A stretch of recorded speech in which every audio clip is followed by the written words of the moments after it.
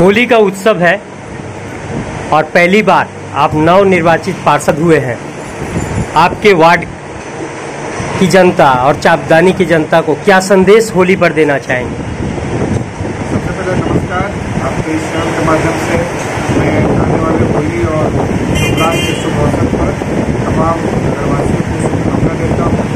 और सभी लोग जानते हैं कि होली रंगों का त्यौहार है और होली के दिन जितने भी गिले शिकवे हैं, भेदभाव है, सबको भुलाकर सबको मिटाकर हम लोगों को आपस में गले लगना है और एक नई भाईचारगी का परिचय देना है। बस दो साल तक कोविड परिस्थितियों के कारण होली का उत्सव फीका रहा। इस बार पाँच राज्यों में चुनाव हुए हैं और कोरोना अपने अंतिम चरण पे है।